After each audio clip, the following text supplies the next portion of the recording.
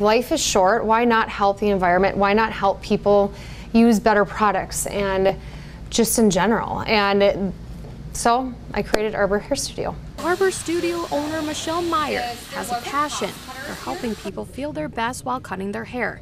She also has a passion for helping out the environment as well. And I switched over product lines um, to Kevin Murphy. My product rep introduced me and talked to me about Green Circle Salon. And I'm like, what is that?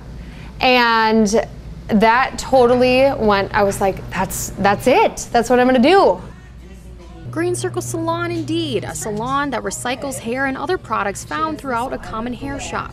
And the hard work of recycling comes with great outcome of helping other organizations that are in need of help. Um, but with the hair, it actually, they make um, hair booms out of it. And for oil spills in oceans, they use that, um, which is really, really cool. They've also done different uh, pet beds for different catastrophes that they've made human hair pet beds.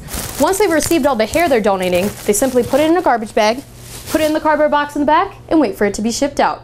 The facility going the extra mile with untraditional recycling, one may say it's too much extra work.